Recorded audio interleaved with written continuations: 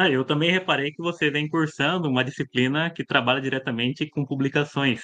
Inclusive, agora você está cursando a disciplina que é um seminário de Direito, de Negócio e Tecnologia, né? o Seminar on Law, Business and Technology, junto com o professor Fábio Brasilino e mais oito colegas. É, e como que tu está se encontrando aí nessa organização dessa matéria?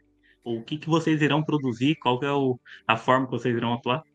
Ah, foi muito bacana. A gente já está no, no final do nosso evento, na verdade. O evento ele começou uh, no dia 12, 13 de março e termina agora no dia 26, salvo engano, acho que é a nossa última palestra.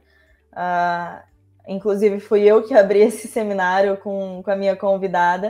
Uh, a gente está fazendo as mediações, né? Então, a, a gente convidou ali palestrantes, a gente está fazendo as mediações das palestras, dos eventos.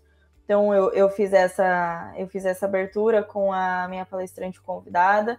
Eu participei de uma outra mediação e na semana passada, no dia 12, eu tive a oportunidade também de dar uma palestra. A gente estava ali com alguns dias vagos, né, que a gente acabou não não preenchendo, não tendo gente suficiente para colocar todos os dias como convidados, abriu a oportunidade ali no no módulo do, dos próprios alunos, né, darem uma palestra de algum assunto, eu palestrei também.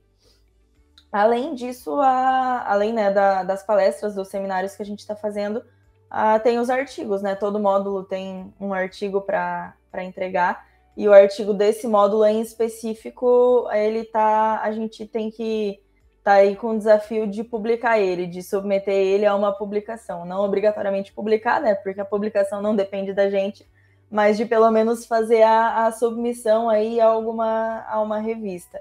Uh, mas com o professor Fábio Brasilino aí em específico, ele já tinha me dado uma outra matéria, é, que era é, Business Law, né? Direito do negócio.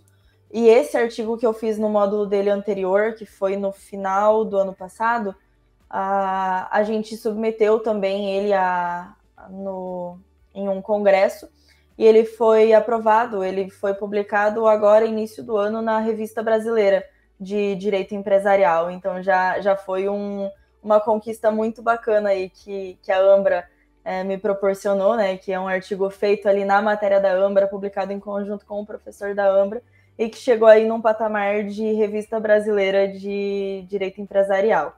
Então, foi muito bacana e agora a gente vai tentar novamente aí uma publicação.